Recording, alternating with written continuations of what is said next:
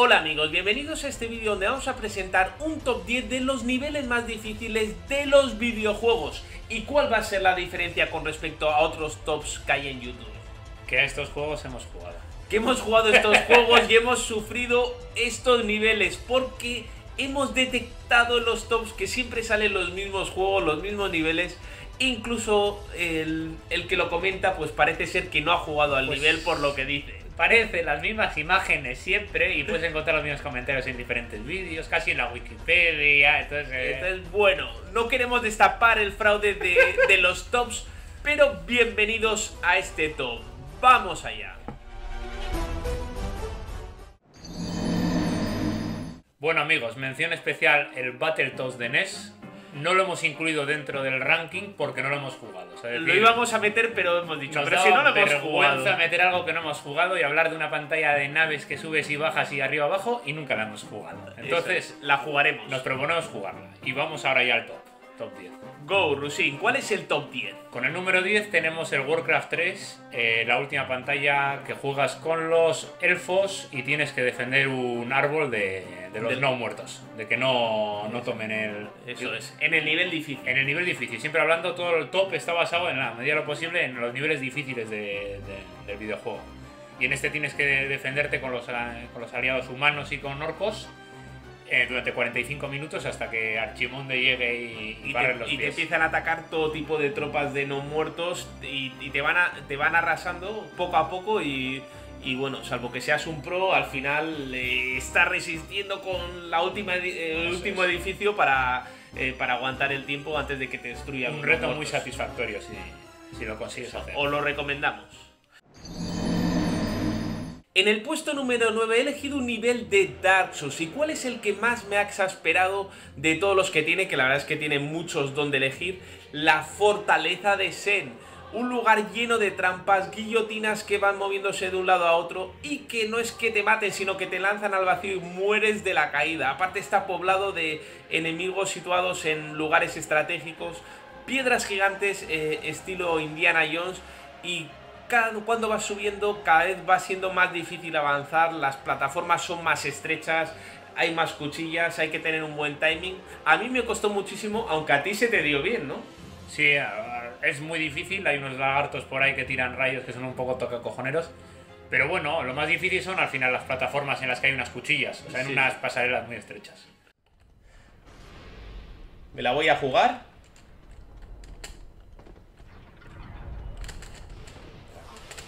¡No!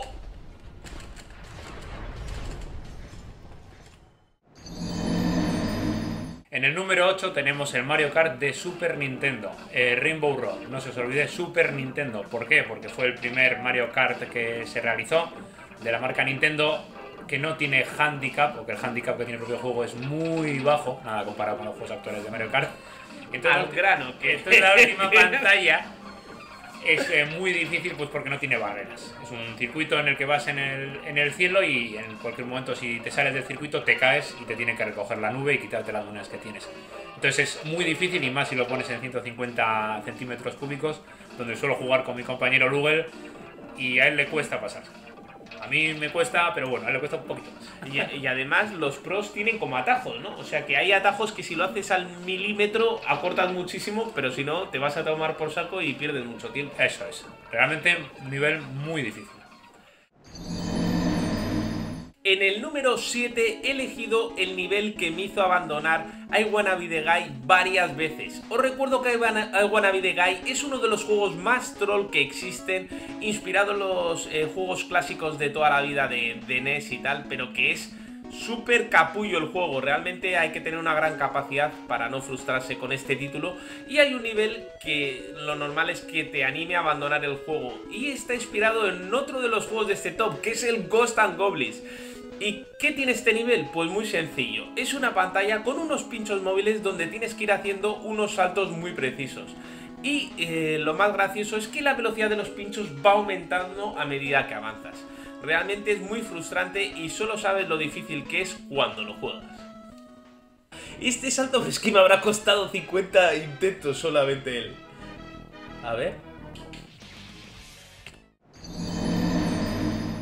Número 6. Gunsmoke, un juego que salió para arcade y también para la NES, pero bueno, nosotros lo hemos jugado en arcade, eh, de vaqueros. Entonces el nivel quinto, en el que el enemigo final es eh, Mr. Dinamito. Dinamita Joe, un cerdo con un hombre con cara de cerdo, bueno, un poco cerdo, con dinamita en la cabeza que te tira dinamita mientras te atacan unos vaqueros por la derecha, otros te tiran puñales y otros te disparan desde la ventana. Es un nivel de arcade muy complicado.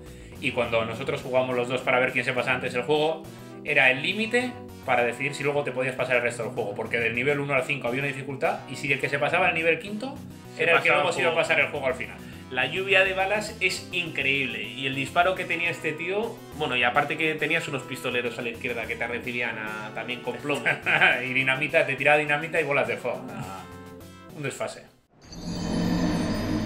En el quinto lugar de este top he elegido un nivel opcional del Bloodborne correspondiente a las mazmorras del Cáliz. Para mí el nivel más difícil de todo el juego incluyendo el DLC. Se trata de la mazmorra del Cáliz maldito donde juegas con la mitad de la vida. Tened en cuenta que Bloodborne es un juego donde somos unos cazadores, personajes muy rápidos, nos movemos a la velocidad de la luz, pero a cambio eh, podemos morir fácilmente. Y si a esto le añadimos que jugamos con la mitad de la vida, pues resulta que hay un montón de situaciones de insta-kill. Y cabe destacar que aparte hay dos bosses que tienen muchos movimientos de insta-kill, movimiento, movimientos, digo, combates largos de 5 minutos, eh, sobre todo un, un perro con forma fálica que hace una carga que te mata de un golpe y la temible y asquerosa amigdala que es una araña con un montón de brazos y cabeza de mosca, eh, que ya te digo que solo con soplarte te mata. Sin duda un nivel dificilísimo y para mí el más difícil de toda la saga Souls.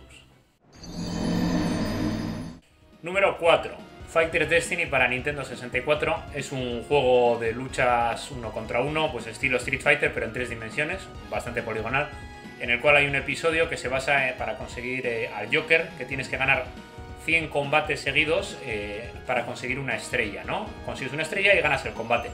¿Qué ocurre? Que es la dificultad de la máquina va aumentando, va aumentando luego los tamaños del, del ring, va haciéndose más pequeño, más grande, que es una dificultad que ganar 100 combates sin parar el juego ni poder grabar es dificilísimo. Tal que yo llegué a Un fallo y a tomar por un fallo, te hacen un- una contra, te hacen un especial y tienes que empezar de nuevo. Y no puedes guardar en ningún momento ni hay claves. Yo conseguí llegar al nivel 65, 70, pero ya fue. No, no Fue ha podido demasiado. ser, no ha No podido ser este. Y no Este pude no. tener al mejor personaje, al Joker. En el tercer lugar de este top he elegido el último nivel del Ninja Gaiden de NES, un nivel que estoy convencido que sin save states no me lo hubiera pasado nunca. Eh, realmente es un nivel dificilísimo, ya es muy complicado llegar al mismo, pero tiene unas secciones de plataformas eh, con saltos complicadísimos, te los tienes que saber de memoria, eh, timing precisos, in- intentar utilizar pequeños glitches del juego para que se aparezcan enemigos. Pero no solo eso, sino que es que al final te tienes que enfrentar contra un boss que tiene tres fases y si mueres vuelves a comenzar el nivel desde el principio. Se trata de un juego infernal y el último nivel es más difícil que el resto del juego junto.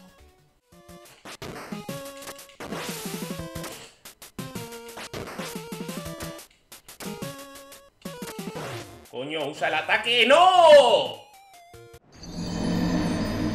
En el número 2 tenemos Perfect Dark de Nintendo 64. Fue el juego shoot 'em up eh, posterior al GoldenEye de la marca Rare.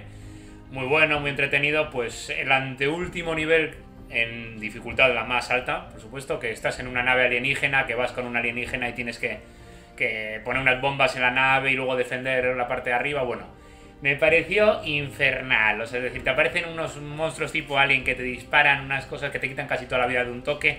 Vas con un enano cabezón que lo fumigan a la, menor oportunidad. Y yo no fui capaz de pasarme ese nivel. Y eso que en esa época sí que jugábamos horas. Quizá le habrán metido 100 horas al nivel. Bien, las primeras. Las primeras, pero me fue imposible. Y en el primer lugar de este top he elegido uno de los niveles más complicados de un arcade que es súper difícil de por sí. El Ghost and Goblins, tú también lo has probado.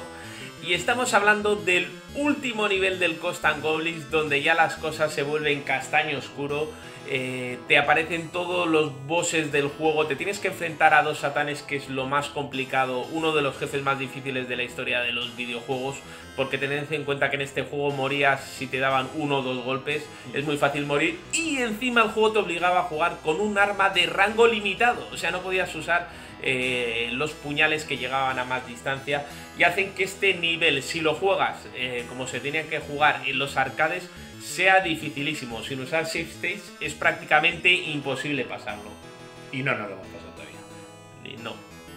Espero que os haya gustado este vídeo. Y que nos digáis en comentarios cuáles son para vosotros los niveles más difíciles de los videojuegos. Un saludo y hasta luego.